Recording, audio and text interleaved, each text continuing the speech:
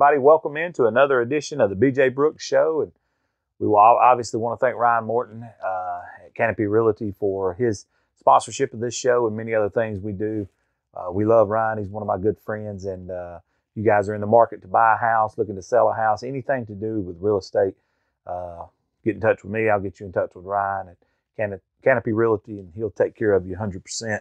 Um, now, BJ, you had a you knew you had a rivalry game last week. It was going to be a tough game. You knew going in. Uh, anytime you see a schedule and you see the word Boaz and the word Sardis across from it, you know it's going to be a big time rivalry game. Uh, you guys come up a little bit short in that game last week, but just take us back to last Friday night and, and what all transpired. Yeah, you know, so uh, we did. We, we lost 35-21 was the final. Um, you know, coming in was two really high scoring offenses, so everybody kind of been building up the offenses. They thought it was going to be some kind of 60 to 60 game, and you know, really and truly, both defenses I thought really played, surprised everybody. Uh, you know, it was a defensive struggle early on, and then you know they, they scored one on us late, but uh, you know we came a little bit short, didn't get the job done. You know that, that's my fault as the head coach, it's my responsibility, and we weren't able to pull it out. And uh, you know they did a good job, and their players did good, and I got I call them here. So, but uh, you know, came up a little short on the stick, and you know, like I said, in this area it's tough, so you got to turn and, and rebound quick because you got Guntersville coming in here, and they're a really good football team. If we re- rewound the clock, I don't know, two three weeks ago, and you looked at Guntersville, and you're sitting there and you're thinking, man, these guys are just coasting to this region championship. Yeah. Well, all that's changed with their loss last week Yeah. to to Arab, and now we could potentially. You and I talked about it off the off the field or off the uh, camera here.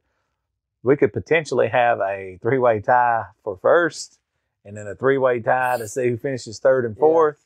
So there's a lot of games to be played, a lot of movement here in this region, and it's all going to be decided this Friday night. Um, the scenarios that we looked at, you guys could actually still go to the playoffs, but you have to have Douglas uh, beat Boaz, correct? Correct. And then Arab could could still win the region, but they would have. I mean, the Guntersville could still win the region, but it looks like they're going to have to have some help from Mars Hill. That have to defeat you. So there's so many scenarios that's got to play out. But I know you don't care about that. I know what you care about is winning the football game. Yeah. But um, how do you keep your guys focused with playoff talk and all these different things going on? And You know, like that's why I, I addressed the team Sunday. You know, I mean, anytime you lose a game, it's hard, especially if you lose to a rival. You know, it, it makes it tough too. Yeah. Everybody here that grows up at Boaz, they want to be Sardis, and people at Sardis want to beat That's correct. Boaz, and, and you know, it's over. You That's right. lost, and you know, and I told the seniors, I don't know how much more time I got with you. I don't know That's if it's two weeks with you, or I don't know if it's you know three weeks or four weeks. But all I know is we got today, and you know, and you want to beat Gunners, so we just want to come in and put our best Gotcha. foot forward to make sure we can try to beat them and be competitive. You know. if you um, if you could say a message to these seniors for what they've done for you here, you know, building the foundation for the future here at Sardis, you've you've changed the mindset. I mean, you know, you guys have done a lot of good things. This this building we're sitting in even looks different. I mean, you've done a lot of good things. What would you like to say to those seniors? just thank you and I appreciate them. Yeah. and I love them, and uh, you know, it, it's it's all about the foundation you built, and and they've done a great job here. They've they've won as many games this year as they have their entire career here. Uh, just so far, That's you know, incredible. and, and we still got you know some more games to play. Hopefully, we got more than two.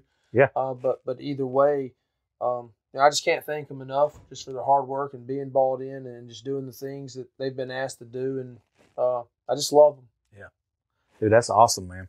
They, I, I know they're proud of you and the community too. That uh, yeah, I've been to two games of yours live in person, and both times I was here, you know, I had to park in the North Forty, so I almost had to park in Boaz. It seemed like because I mean it was packed. Just seeing that, seeing the tailgates and uh, the, the the new look of the uniforms, the the field house, all that. What's it been like for BJ Brooks since you've been a part of Sardis so far? Uh, you know, it's it's very time consuming. You're you're very very busy.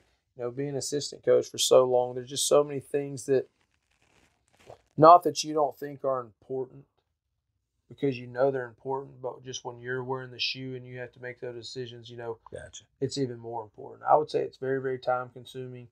Um, you know, and just everything kind of comes back to you. It's, you know, your your name's on everything That's correct. uh, whether you really want it to be or not. Sometimes it is, and so you know you just got to be able to take that and take responsibility and accountability that that it's on you, and um, that can be good or that can be bad. You know, you're winning a lot, everything's going good. There's bragging, you know, or that we love this, but then there's also people that don't like certain things or things that need to change, and that's stuff that you got to look yourself in the mirror and say, well, we got to fix this. Yeah, and that's uh, that's always uh, whether we like it or not. It always comes back to the shoulders of the head coach. Yeah. That's why when I see, um, you know, coaches that are struggling, uh, we see it throughout the season. Great guys, even great coaches, they may not have the guys that year. So uh, at Average Joe's, we try our best not to pile on because it's so easy for people Yeah. to take shots at people when they're losing. We actually try to build them up. So um, because you know, at the end of the day, they're human too. People have got to realize that. So. Oh yeah. Um, let's get into this week's game. I'm not going to keep you because I've been out here all day talking to you already, but you, you know you got a tough opponent this week in Guntersville, and their coach Reese does a really good job with them. And uh, I think Arab showed last week that they do bleed, uh, like the Russian and Rocky Four. Uh, you didn't think going into that fight that he did bleed, but Rocky proved that he did bleed, so he was a human. But when when you seen uh, what you, I know you've watched film on Arab, Yeah. what were some of the things uh, they were able to do against them that was successful? You know, I, I was joking around. I said, you know, arguably the best two teams in our region. You know, and we talked about our region being so close, potentially having, you know, a three way tie for first and a three way tie for fourth. This region is just it's very competitive from top to bottom. If you Mhm. if you don't show up one week, you get beat. Mm-hmm. Uh, you know, and Arab showed that last week, you That's know, with, with Guntersville. That's right. Um, you know, Boaz was beneath us in the standings. They showed that to us last week. You don't show up, you know, you can lose. I think we've just been lucky enough, sarcasm, that, you know, we get to play Scottsboro after they got beat by Guntersville when everybody was talking about them. And now this week we get to play Guntersville, you know, after they lost. Right. So they're going to come in ready to play. You know, Guntersville's always good. Yeah. They're always very well coached. They're very disciplined. Uh, they always have good players. There's a reason why they're one of the top. They got the top 20 most wins in Alabama high school football history. You know, a lot of people probably don't know that, but they have been good for a very, very long time. That's correct. Uh, you know, their quarterback's really good. All their receivers are probably six three plus, and they got seventy five on the offensive line. He's an absolute animal. He's he plays with great leverage. Um, defensively, number ten. I mean, he might be the best linebacker we played all year. They're really good. Number three, one of their strong safeties. I mean, they have a lot, a lot of good players, and, and they're very well coached. They're they're very disciplined. Yeah, they're so yeah they're uh, there's a reason why they just lost their first game and they've been in the top ten all year. yeah yeah they were six going into last week's poll. Yeah. that's good.